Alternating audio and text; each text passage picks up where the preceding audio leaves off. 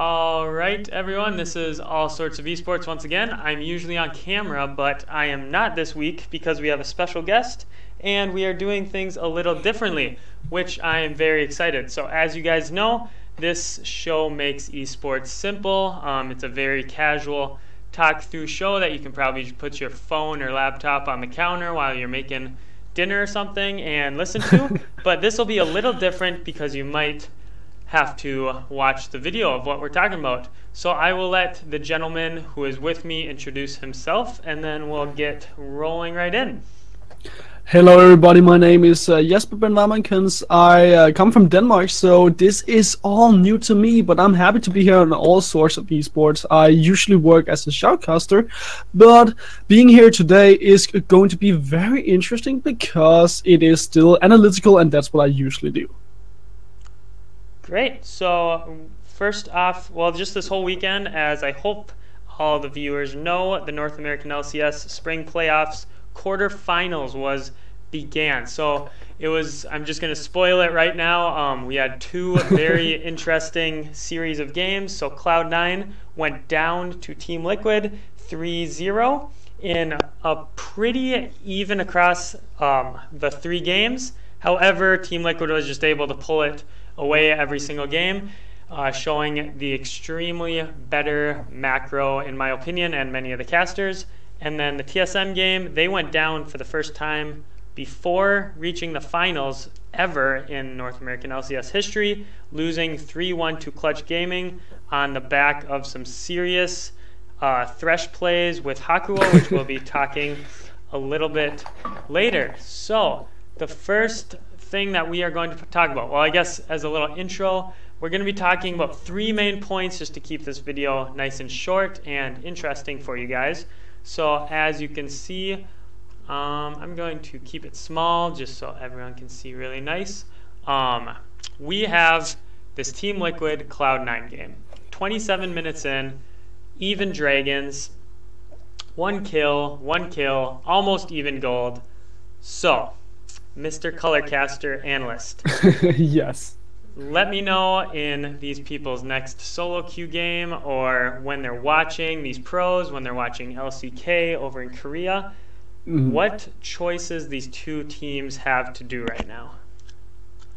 Well, when you are in a mid game, which you are right here, 27 minutes into the game, you want to look at the two team compositions. Looking over towards Cloud9, they obviously have an Orianna and Ezreal, and that means that they are looking to scale up. They also have the Sejuani, of course, to be that late game tank alongside the Gnar, so they don't want to force anything right here. They are only starting to become really strong. They have uh, the Trinity Force and the Muramana coming in from uh, Sneaky. Uh, you have Jensen, who only has two items right now, one of them being defensive, so he's not in a position to fight either. And over on the side of Team Liquid, they really want to fight. You have a Seer who has three items, so he's fairly ahead of Jensen. You have a Doublelift who has the Arcane Command and also have the Rapid Fire Can, the Essence Reaver, which means he has a fairly strong mid game right now. Um, you also have Xmithie with the Skarner who can initiate fights. On top of that, uh, the new Swain pick is super strong because he doesn't drain mana when he's in his ult. Um, this means that their mid game is just so much better than Team Liquid's, and with them also having two Mountain Drakes, trying to get control over the Baron is crucial for them. So if you have a better mid game team fighting composition, or, or just a better mid game composition overall, you have two Mountain Drakes as well, you want to start looking towards either towers or Baron buffs. And in this game, it would be so much easier to get the Baron because of the immense amount of wave clear there are on the side of Cloud9. Very cool. And moving on throughout, so you talked about the Mountain Drakes and mm-hmm. the burning down. Who do you think any team right now has the potential to really burn it, even with those two drags? I know is Jhin even a fast burner, you think, or not really? oh no, no, he's not really in a position to burn it down very fast. But you have Pobelter, who is in a position to do so. He has both the Void Staff and the Nash's Tooth, and with those two items, he can burn it down. You have the extra attack speed, and with the soldiers, someone like Azir will just deal so much damage. And on top of that, um, just having these two extra carriers. I know that both Swain and Jhin aren't just, uh, the fastest Baron takers, but they will be able to just add some damage on top of it, and obviously having those two carries means that they can burn through the Baron faster, and therefore Baron would be the ideal situation to go for for Team Liquid right now. Very cool. And then, so if Team Liquid jumped on this Baron, and mm-hmm. Obviously has the jump over the wall. Do you think that they yeah. want, they would want to pull off the Baron since Skarner doesn't have flash up? Um, you think they would wait for Cloud9 to overextend a little bit, then go for a team fight? You think that's a good idea, or? You see, now that's a good question because on one side, Team Liquid, obviously with Jhin and uh, Skarner, they have the possibility to initiate a fight. Obviously, it's hard to do it with Skarner because of him having the flash down, as you mentioned. But with Jhin, you can lock someone down. On the other side, um, you can just start up the Baron. Then, uh, if we go for the scenario that you mentioned with uh, Svenskar just jumping over the wall, I would say that you can just turn around onto him because you do have the Impale up fairly soon on Xmithie. That means that you can, in case Svenskar jumps uh, into the pit, just burn him down really fast. And then Cloud9, they won't really have an answer and they'll have to look for a Shockwave steal or perhaps an, a steal coming in from uh, Sneaky. Okay, very cool. So you think Team Liquid just has the slight upper hand, but do you think they have the upper hand, or do you think it would mostly come out just on the micro playmaking of it? No, I would pretty much say that they have the upper hand. Again, Cloud9, they aren't in a position to fight, mainly because of their carries still scaling up. So they have the upper hand. Obviously, if Jensen can land a super good shockwave, then he will be able to perhaps turn the fight around, but it's just such slim chance for him to be able to land that shockwave. So in every fight, mainly Team Liquid at this point in the game would just be stronger than Cloud9 because Cloud9 needs at least ten more minutes before they can really start to fight. Okay, very cool. So do you have anything else to say about that? Otherwise, that all makes sense to me. Hmm, I, I, I would say that if you're looking in your solo queue game, right here, if you have the composition from Cloud9, obviously just trying to clear away the vision from Team Liquid would be the way to go. Obviously, Cloud9, if uh, they grow into the Baron pit, then they should be in a position to scare Team Liquid off, because as long as Licorice are close to having a Mega Gnar, and you have your um, your Glacial Prison coming in from Svenskeren, you'll have so much uh, crowd control that obviously Team Liquid they'll have to be very careful about moving in towards the bounce. So just try and coordinate your crowd control if this was your solo queue game. Okay, very cool. So most solo queue games obviously don't have the best coordination, but if you got some good friends, obviously that oh, would well, help. I, I, I, I, would say that uh, my solo queue games are fairly coordinated, but that's just because I always type too much in those solo queue games. I uh, I usually go for the shoutcaster, sorry, not the shoutcaster position, the um, the shot caller position, but that doesn't mean that people they always listen to me. Yep, exactly. True that. So, moving on, we'll move. We'll make this nice and big. So I think that's all the questions we had. Yep, so that's all I had for that one. So this second game, um, so this is mm-hmm. at the end of the dynasty of TSM already here. Uh, Clutch Gaming is up two two games. TSM just won that first game in a big stomp, um, and then Clutch Gaming just kind of grinded them out that second game. And the third game, just a quick, easy win. Uh, you saw most of the Clutch Gaming players kind of laughing and snickering towards it towards the end of it, just because they were having a little fun. Um, they knew that TSM was obviously a little tilted. So you move into this fourth game and you see a lot of damage. And you see a bot lane that should have priority with the lethal combo of the Cait Trap and the Morg and just the push that you'd think they would have. Does that sound right or am I a little off?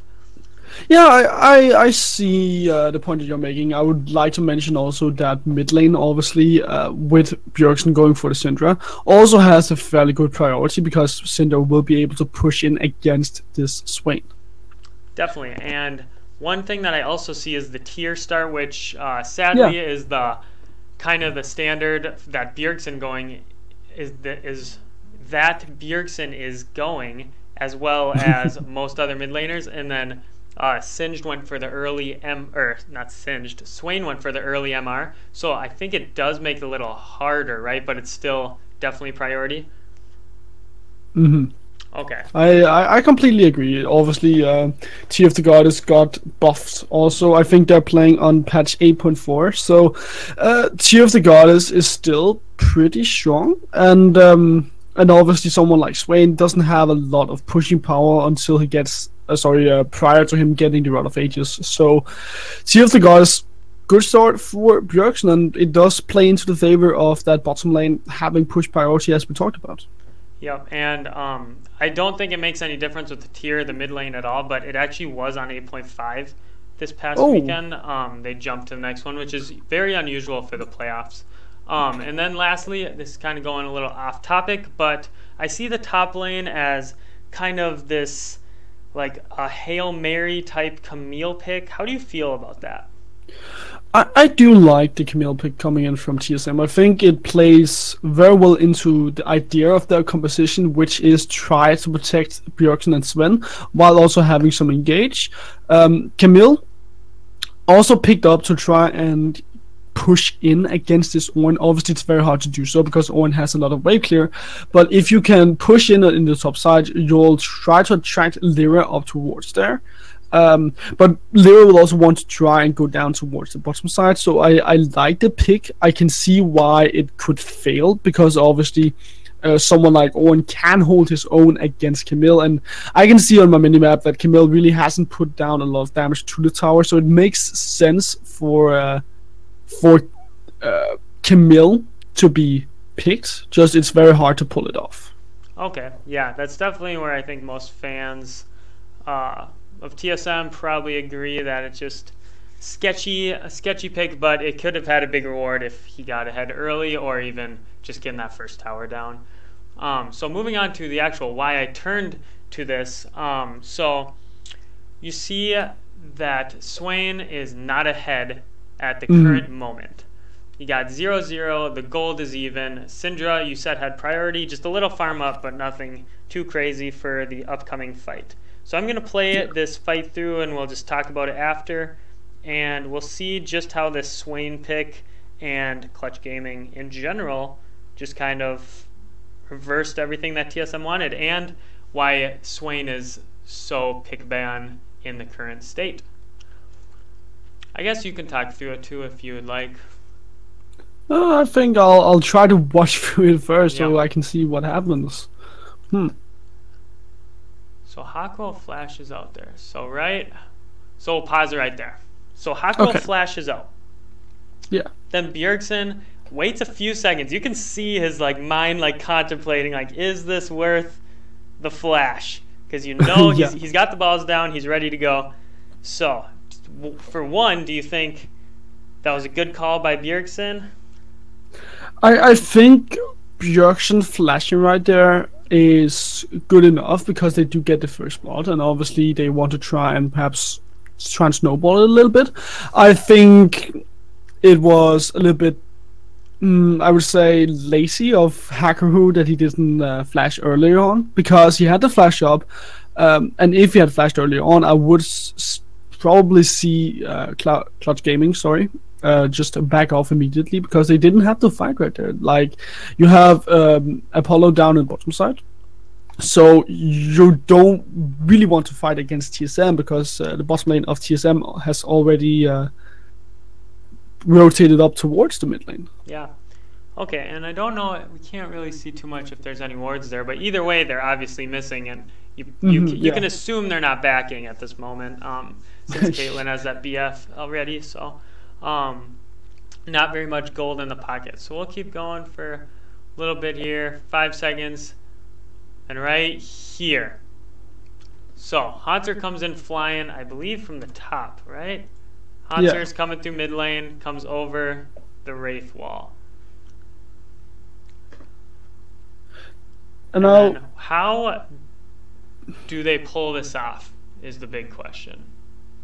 So I would say the way for Clutch Gaming to pull this off is that you can see Lira. He already has, uh, so he uh, he has his passive. So obviously, TSM having spent so much uh, on getting the kill onto Lira means that now he'll be able to just revive unless TSM uses so use more resources on Lira.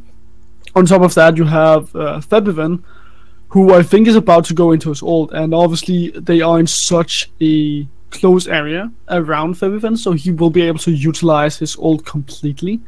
Uh, Bjergsen doesn't have his ult anymore. Um, it's, it's, not like Zven will be able to use his ult at, at all, and Call of the Forge God is coming in. On top of that, Apollo is also coming in now, and both of these AD carries have their BF swords. So for Clutch Gaming, they just have so many more resources to play around with, whereas TSM, uh, they don't have any really to play with anymore.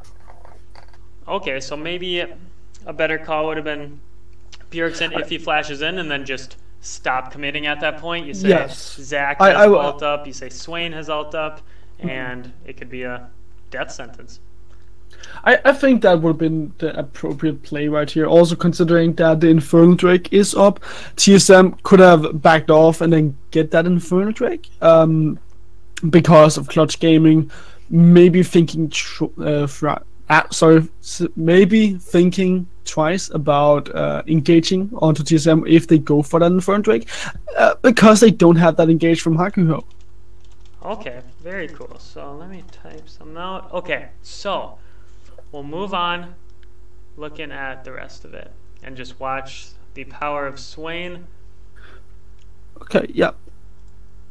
Yeah. For, okay. So the the thing is also obviously, um, I, I mentioned this earlier in the video. I think Swain's uh, ult doesn't consume any of his mana anymore. That means that he can stay in this ult for a very long time. On top of that, Febiven had five of his soul fragments, and once he uh, stops using his ult, he will deal extra amount of damage depending on how many soul fragments he has.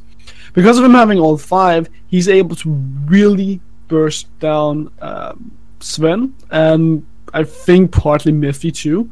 So that just means that again for for TSM that they are in such a bad position where they'll take so much damage from Febiven and well with the rest of the members from Clutch Gaming coming in, TSM can't really do anything. Yeah, so thinking about uh, patch 8.4 because 8.5 is the big Swain patch. 8.4 mm-hmm. to 8.5 had Swain. I think the big thing was just a little up on the damage, but the big thing was the Q. So like the lightning bolts, if anyone doesn't know, the lightning bolts that come out really quick in like a cone formation, those got reduced cooldown by I think two seconds early. And do you think that is why he's relevant, or why is he jumped up so much in priority?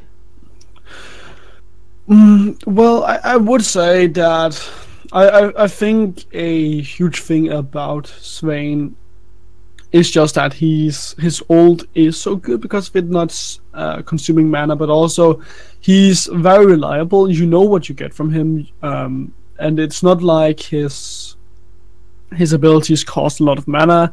Uh, he's a very bruiser-ish, sorry, bruiser-ish champion can deal a lot of damage if you play him correctly too. So I think he's just a very reliable pick, and in a meta where you can uh, punish very easily because of vision being lower, I think that someone like Swain can thrive so much better. Yeah, and especially um, with the bruiser type, they can't get caught out so easily. If you're walking into yes. a bush and a Hakuho hook hits you, as if you're Syndra, you're probably dead. But if you're Swain, you're probably fine. So I guess that is a pretty big point. Yeah, th- th- that's a good point too. And obviously, if you have the the five uh, soul fragments, which isn't that hard to get actually, it's just about I think you need to land your W or your Q, and then you get one soul fragment. So even if you have those five soul fragments, people then need to be very careful around you because you can kill them instantly if uh, you get the chance to turn onto them. Yep, and just the extra CC I've noticed in comps uh, with like Thresh and Zac. When you have that almost guaranteed CC that you would have, at least someone is going to get CC'd on the team when you have Zac and Thresh. With that extra pullback that Swain has, it is just very good. I think you can catch people out. Mhm. So going through this, um, I think this is just the chase back in. Does Hauntzer die here? Oh no, that is this where? Oh yeah, this is where Bjergsen. Yep. So if you guys missed it, Bjergsen just goes on a really long spree through the whole mini map, and then he finally gets killed by a Jhin snipe really far away. But um, moving on, yep, and Clutch Gaming obviously went on to win this game. And on the back of what I said earlier was Hakuho's Thresh from Mhm.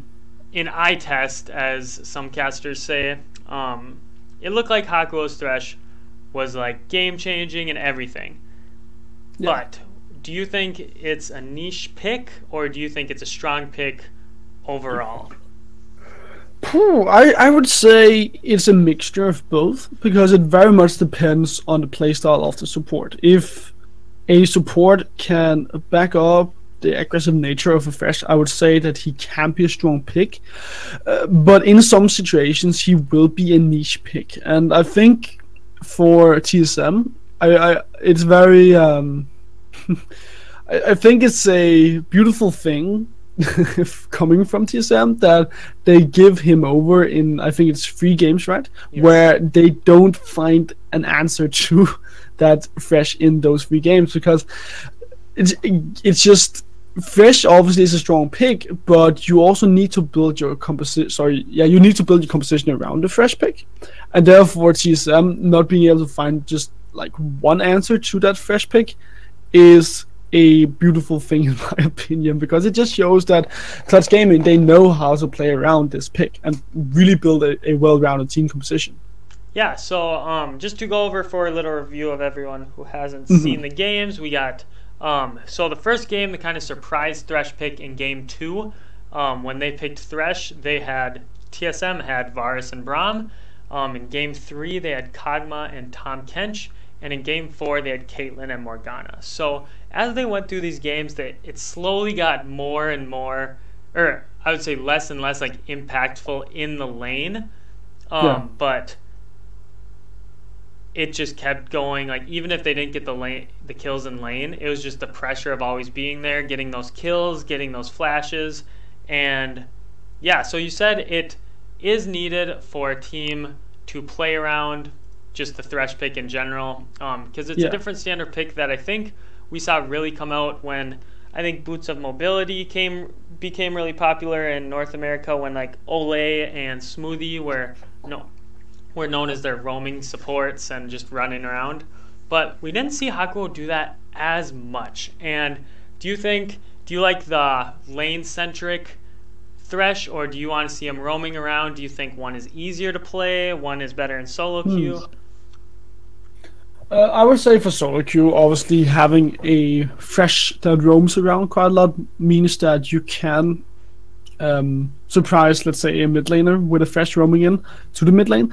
But with that being said, for competitive, I think it depends on your team, obviously, because if you have a strong um, AD carry like a Caitlyn, then someone like Thresh, if he just stays in lane, will be able to build up so much pressure alongside this Caitlyn.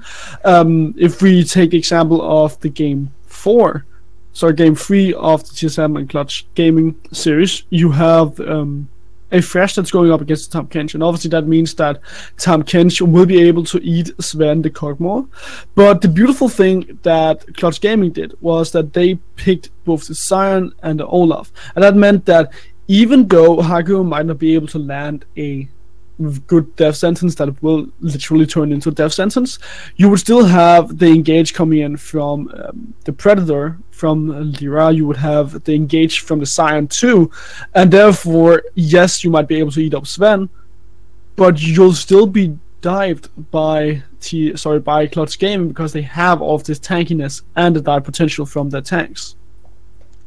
Yeah, it's just like when you watched the TSM games this past weekend, it seemed like they just had no answer and they were just kind of dead. You can see Zven here had 0 6 and 1. That was obviously a rough game. I think he died as many times this series as he did all season. I think that stat got thrown out by Jatt or Zirene or someone. Um, but yeah, we'll just But- go over but yeah, last but yeah. Just, just to just to build a little bit on that, I would say that also for your solo queue games, uh, while it can be easier to to build a protected AD carry composition in solo queue because of the less coordination coming in from the enemy team, it's very hard to to build a protected AD carry composition in uh, in professional, and and actually pull it off because right there for TSM, they had the Skarner in the jungle, they had the Gnar in the top lane, and the Karma in the mid lane. All of that was picked to just build around Zven. And the, the beautiful thing from God's game was that they had so much engaged, so they could always get onto Zven no matter uh, how much protection he had.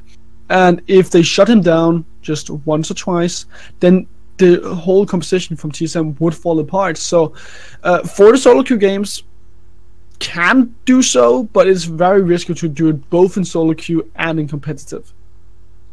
Okay, very cool. And yeah, you pretty much answered everything I had, except the last question. Um, will end it on a good note. Should TSM just ban them?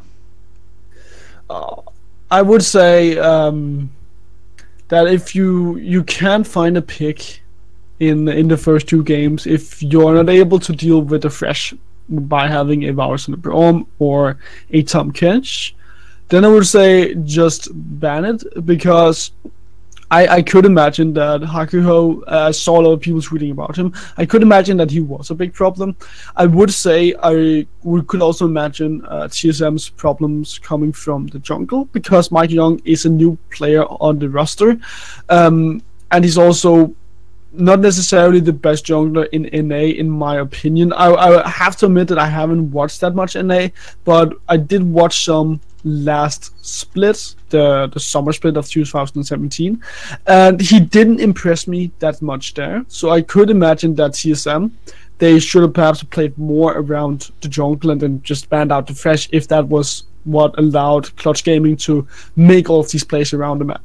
Okay, so yeah, I mean yeah, I, it's a tough call. You obviously have all the Reddit and all the Twitch and YouTube uh, commenters just yelling ban Thresh, but it's obviously more complicated than that. You only get five, and if you let the Thresh go, then you'll let go of Febiven Azir or the strong AD carry picks or the two strong top picks, jungle. You don't want Olaf and like. Mm-hmm there's just there's so many bands. It's just insane. I could never even imagine being a banner. But um, that sums it up for what I got. Do you have any other comments, or you can shout out to your your brand, your social media, whatever you want to do? Yeah, maybe uh, I, I would say, guys. Obviously, uh, you can find me over on uh, Twitter. You can also find me on Facebook. Uh, my name is very hard to uh, to uh, spell out. It is Ben and It is a foreign name, but obviously you can find me over there if you want to hear more about it. I would also always uh, say go and follow all sorts of esports. I think that it's a good concept. Obviously, also a very nice guy, and I very much enjoyed my time being on the show. So, guys, obviously show the love to all sorts of esports. All right, I'll pull up your Twitter so people can find you. Here he is. Um, everyone, thank you for watching again. Um, let me know in the comments what you think of this, and yeah, retweet it. Also, Igor Caesar, I think is your name. Uh, let me know because I know you're commenting almost every video. So thanks for those, and I'll see you guys next week. And thanks for the one and only host I've ever had, and maybe more to come.